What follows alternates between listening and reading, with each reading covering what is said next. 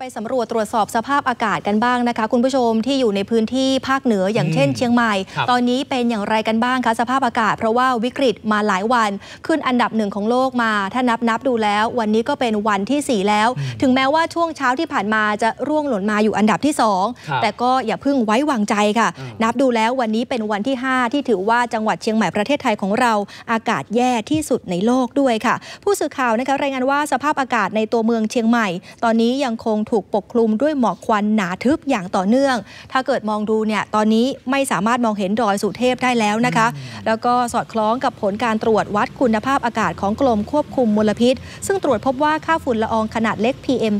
2.5 ตอนนี้ยังคงเกินค่ามาตรฐาน 50 ไมโครกรัม ต่อลูกบาศก์เมตรอย่างต่อเนื่องด้วยค่ะ ขณะที่ทางเว็บไซต์ airvisual.com นะคะรายงานว่าค่ามลพิษในอากาศของจังหวัดเชียงใหม่ ตอนนี้ถืออยู่ว่าอยู่ในขั้นวิกฤตหนักที่สุด เป็นอันดับหนึ่งของโลกติดต่อกันเป็นวันที่ 5 ด้วยผลการตรวจวัดเมื่อช่วง 10 โมงที่ผ่านมาตามเวลาในประเทศไทย วัดได้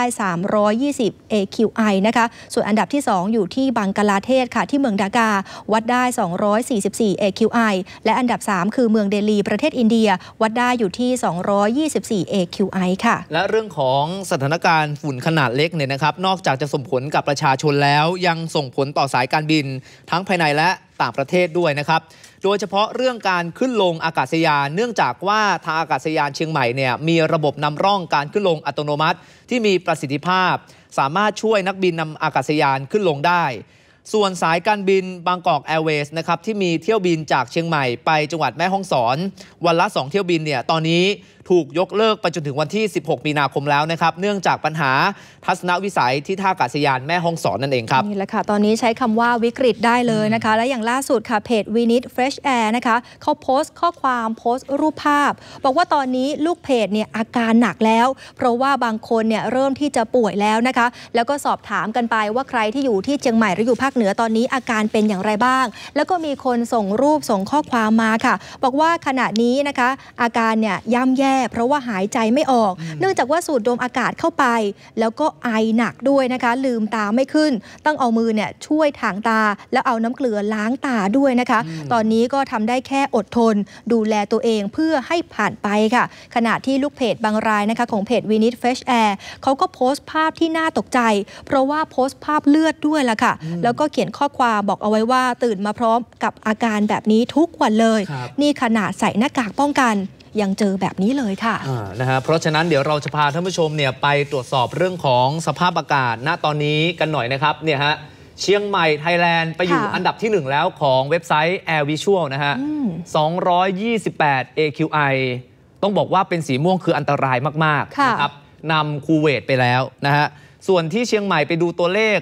ในจังหวัดกันหน่อยนะครับ ว่าตอนนี้สภาพอากาศเป็นยังไง 228 เห็นไหมเออ โอ้โห เป็นสีม่วงอะคือนะฮะหนัวิกกฤตมาก ใช่ค่ะ หนักขึ้นทุกวันแบบนี้อืมอันดับหนึ่งของโลกไม่ได้ครับเป็นเรื่องที่น่ายินดีเลยนะคะใช่ตอนนี้เชื่อว่าหลายคนเนี่ยคือหาวิธีป้องกันแล้วครับนอกจากหน้ากากธรรมดาหน้ากาก N95 แล้วนะคะ สิ่งหนึ่งที่หลายคนเฝ้าหาก็คือเรื่องของเครื่องกรองอากาศอ่าเครื่องกรองฝุ่นนี่เองครับเห็นบอกว่าหลายพื้นที่หลายร้านเนี่ยเริ่มขาดตลาดแล้วนะคะ แต่ว่าล่าสุดค่ะอาจารย์จากมหาวิทยาลัยเชียงใหม่เขาก็แนะนำบอกว่าบ้านทุกบ้านเนี่ยมีพัดลมใช่ไหมให้มาปรับมาเป็นเครื่องฟอกอากาศได้ค่ะ เรื่องนี้นะคะศาสตราจารย์ในแพทย์ขวัญชัยสุภรัตน์พินโย อาจารย์ประจำภาควิชาอายุรศาสตร์คณะแพทยศาสตร์ มหาวิทยาลัยเชียงใหม่อาจารย์ท่านเขาก็สาธิตดัดแปลงพัดลม ให้เป็นเครื่องฟอกอากาศแบบทำได้ด้วยตัวเอง เพื่อจะป้องกันฝุ่นละอองขนาดเล็กค่ะ โดยอาจารย์ขวัญชัยนะคะ ก็บอกว่าบ้านเรือนของเราเนี่ยทุกคนมีพัดลมกันทุกบ้านอยู่แล้ว จึงก็เลยคิดวิธีป้องกันฝุ่น PM